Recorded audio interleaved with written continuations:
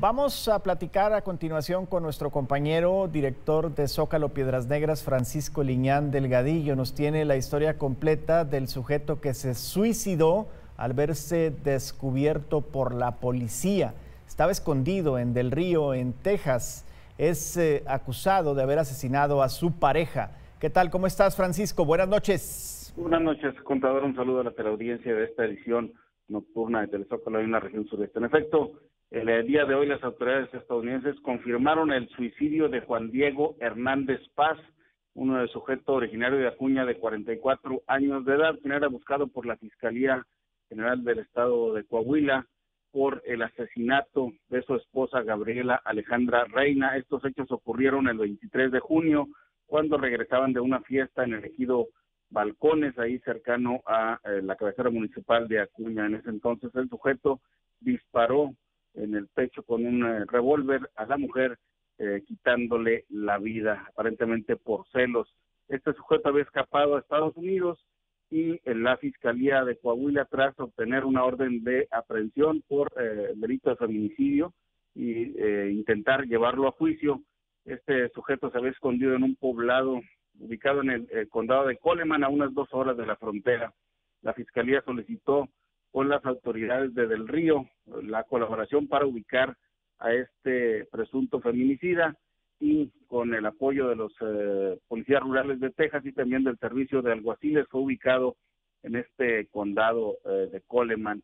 Los oficiales eh, tejanos intentaron sorprenderlo antes de que se fuese a trabajar. Él trabajaba en una empresa de vallas para ganado para ganado mayor y eh, cuando justo cuando salía de su domicilio en la eh, avenida Ripley, en este poblado de Comanche, eh, Texas, fue sorprendido por los oficiales.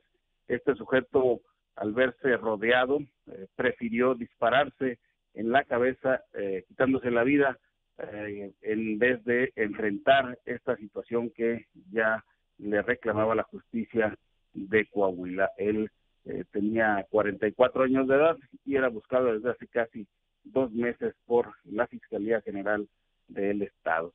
Otra información, contador, el día de hoy eh, se dio un eh, fuerte operativo de elementos de la Guardia Nacional, del Ejército Mexicano y también de la Fiscalía General del Estado, así como de los colectivos de búsqueda de desaparecidos.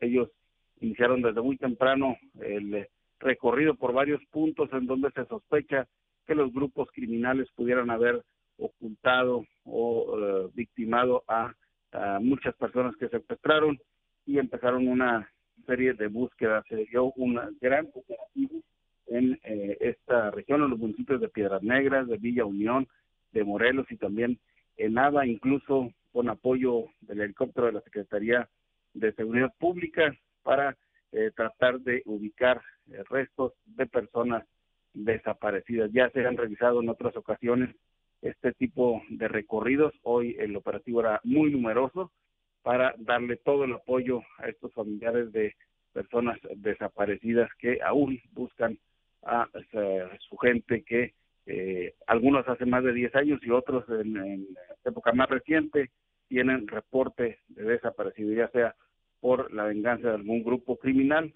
o también por algún tipo de secuestro que hayan sufrido en años anteriores. Y otra información, esta de tipo económico, contador, el día de hoy eh, cerró sus puertas el restaurante de franquicia El Papalote. Fue debido a la pandemia que finalmente llevó a la quiebra a esta franquicia que tenía ya ocho años operando en Piedras Negras en, la zona sur de la ciudad sobre la avenida Eliseo Mendoza de Rueto. Hoy se vieron a los trabajadores eh, desmantelando toda la fachada del, inmueble y también realizando la mudanza, sacando todo el mobiliario de este negocio de, de cortes eh, de carnes y también de restaurante bar que durante ocho años intentó hacerse hacerse del gusto de los eh, comensales nigropetenses y que finalmente estos seis meses de cierre por la pandemia le causaron que decidiera dejar para mejores tiempos el invertir en el sector restaurantero. Es mi información desde Piedras Negras, contador. Muchas gracias, Francisco Liñán. Buenas noches, buen fin de semana. Igualmente, muy buenas noches.